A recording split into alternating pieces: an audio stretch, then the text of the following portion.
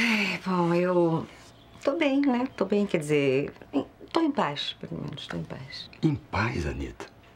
Com o possível fim do seu casamento?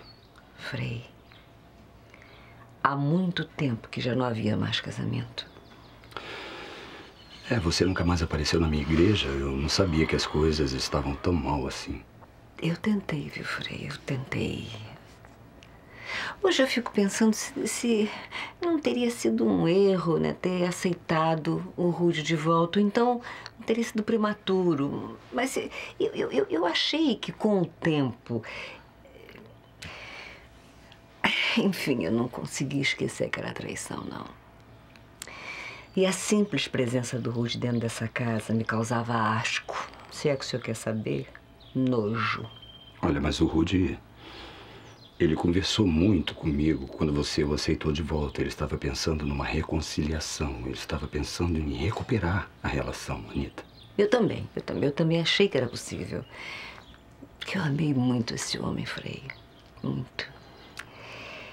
Então, quando tudo aquilo aconteceu, eu achei que não ia resistir, eu achei que eu ia morrer. Porque eu estava muito feliz. Eu estava tranquila, Frei, segura, confiante no amor do Rude, confiante na fidelidade do Rude. O senhor sabe que, que eu tive que, que romper com minha família, o senhor sabe disso, para poder casar com o Rude, o senhor sabe, né? Foram tempos difíceis, foram tempos difíceis, porque a gente não tinha dinheiro, não tinha ninguém para apoiar. Depois, não, depois vieram os filhos, as coisas melhoraram. E Frei, eu achei que a gente tinha conquistado aquela felicidade. Eu achei que eu tinha direito de usufruí-la. Então eu. Relaxei, fiquei tranquila, confiante. E.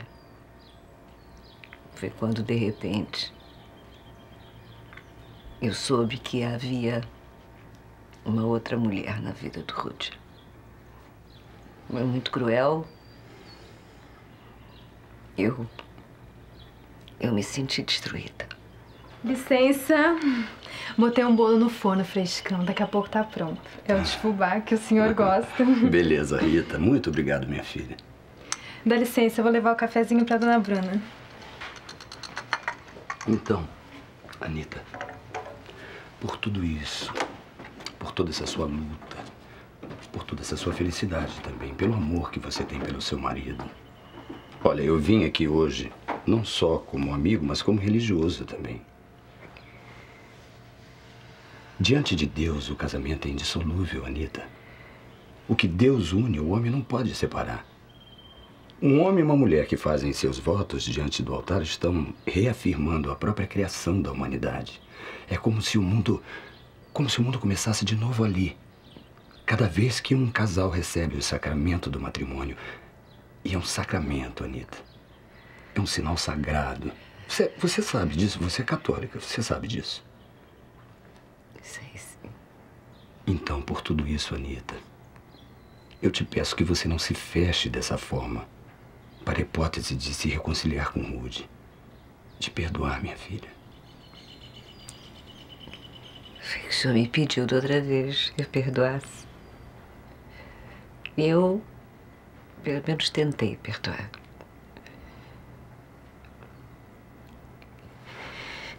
Mas o que aconteceu? Eu fui mais uma vez humilhada pelo, por aquele homem, pela falta de caráter daquele homem. Eu fui mais uma vez humilhada pelo descaramento daquela mulher. Não, Frei, não. É, é, é, é da natureza do Rui, tá entendendo, Frei? Ele, ele não vai mudar nunca, é isso, não. Desculpa, dona Anitta, mas é melhor a senhora subir e falar com a dona Bruna. Ela tá nervosa demais. Ué, por quê? Dá licença, Frei. Pois não. Por quê? Você sabe por que que ela tá nervosa? Sei, não sei. A Bruna nervosa? Mas por que, meu Deus? Ô, Rita, dá uma escotinha antes o que foi que aconteceu? O que, que, que, você fez com os papéis? Você tá vendo isso aqui? Tá vendo, né? Você disse que eu tava exagerando, não disse? Mamãe, a gente não vai ter que esperar que o papai entregue tudo nas mãos de uma aventureira qualquer. Ele já detonou tudo, entendeu? Já detonou. Você tá vendo isso aqui? São dívidas. Dívidas, dívidas, dívidas e mais dívidas. A nossa situação é desesperadora. Mamãe, nós estamos falidas.